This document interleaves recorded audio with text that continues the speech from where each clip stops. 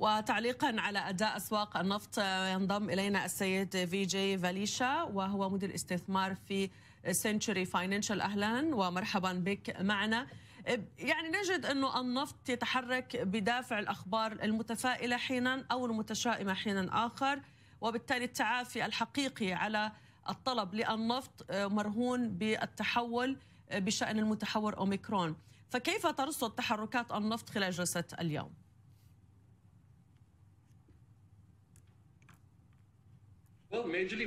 الصفة الرئيسية ما نشهده في الوقت الحالي بالنسبة لأسعار النفط لا تتعلق بالطلب والعرض ولكن بنقص القوى العاملة. لقد شهدنا أن هناك إلغاء لآلاف رحلات طيران في الولايات المتحدة وهناك نقص أيضا في الطيارين وفي الطاقم على الطائرة وهذا ما يضغط هبوطا على أسعار النفط. ولكن هذا أمر على المدى القصير ولكن من المتوقع أن ترتفع أسعار النفط وذلك بعد اجتماع أوبك في يناير. وما نشهد في الوقت الحالي هو أن نصل إلى مستويات السبعين خمسة وسبعين دولار للبرميل في الوقت الحالي ولكن سيكون هناك تحسن في الطلب في العام القادم.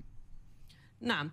ما السبب الذي من وجهة نظرك يدفع باليوم الأداء العكسي للنفط وهذا لا نشهده عادة.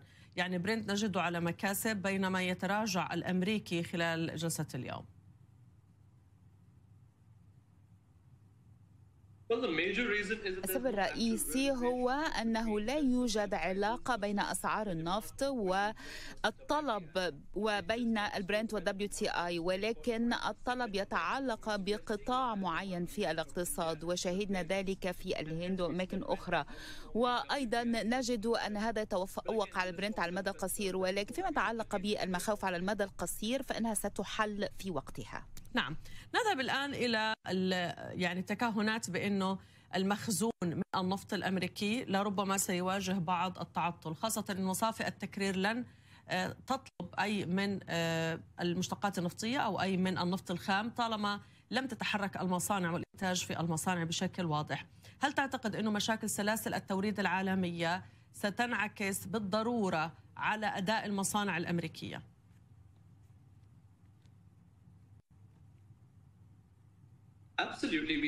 قطعا لقد شهدنا الكثير من الضغوط بسبب سلاسل التوريد على سبيل المثال. بدأت منذ فترة ومنذ بداية كوفيد منذ عامين شهدنا هذا الأمر وأيضا إدارة سلاسل التوريد قد توقفت بشكل كبير وسنواجه هذه المشكلات في المستقبل. أيضا لا سيما مع أوميكرون والذي انتشر انتشارا كبيرا سلاسل التوريد ستكون مؤثرة على مصانع الولايات المتحدة وعلى المعروض المعروض وعلى المخزونات في الولايات المتحدة. أيضا فإن المعروض الخاص بالولايات المتحدة سيتأثر.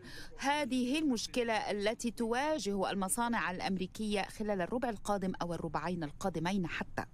نعم. مع نهاية هذا العام هل بالضرورة أن نجد عمليات تسويات لإنهاء التداولات على النفط وخاصة لصغار الأفراد؟ لأنه أنت تعلم جيدا طالما السعة التخزينية لكبار تجار النفط تتسع هم غير مضطرين لإنهاء عقودهم الشهرية. هذا يطبق فقط على العقود الفردية. فهل سنشهد عمليات ربما تصحيح؟ يعني إذا شفنا مبيعات أو بيع على النفط فهذا سببه أنه عم ننهي عقود الشهر.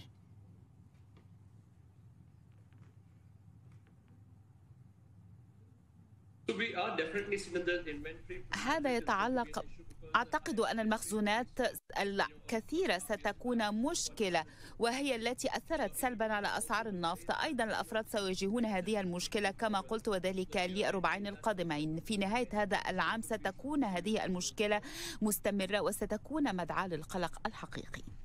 وسيد في جي فاليتشا وأنت طبعا مدير استثمار في Century Financial شكرا جزيلا لك.